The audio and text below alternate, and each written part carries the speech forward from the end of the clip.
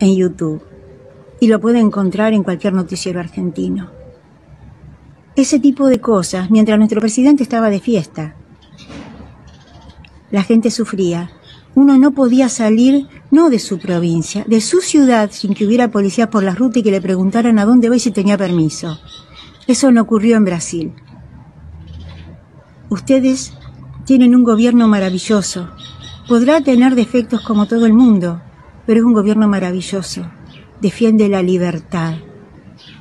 El presidente Bolsonaro es un presidente que ama a Dios y lo respeta. Aquí no.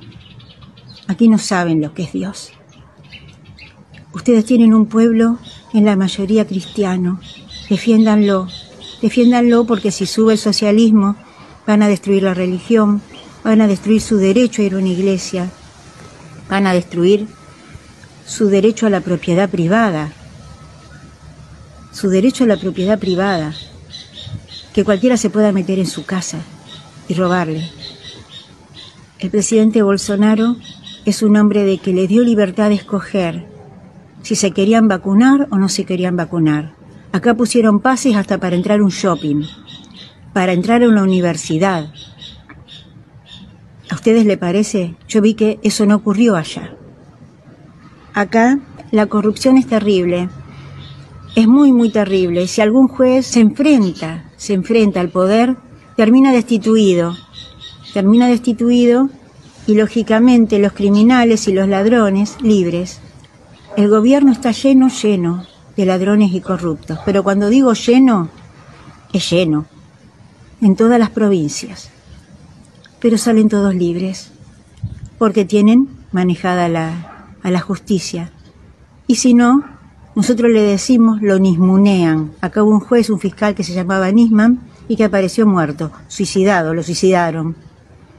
Bueno, eso es lo que ocurre con la, con la justicia en Argentina.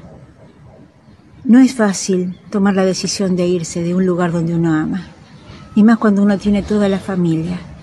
Pero yo sé que si quiero un futuro para mi familia no está en este país.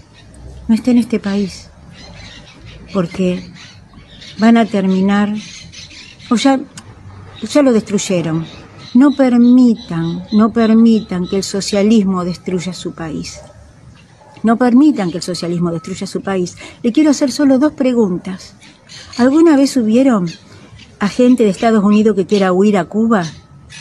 ¿Vieron algún europeo que quisiera huir a la Unión Soviética? ¿Vieron algún europeo que quiera huir a China? No, nadie quiere un país comunista. Que no le vendan esa propaganda de igualdad, porque la gente que está ahí quiere huir de esos lugares. Si fueran buenos, todos querríamos ir ahí, pero no, todos queremos ir a lugares donde tenemos libertad y donde podemos estudiar y donde podemos eh, tener libertad económica. Acá hay una inflación del 60% calculada para este año, pero yo calculo que va a ser más.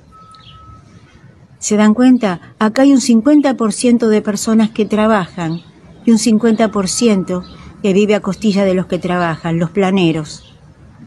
¿Saben que esa gente le ofrecen trabajo de levantar cosechas o de algún trabajo y dicen de que no, que total ganan exactamente lo mismo con los planes. ¿Para qué van a trabajar?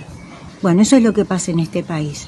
Espero sinceramente que eh, eh, al votar voten conscientes por su familia, por su Dios, por su patria.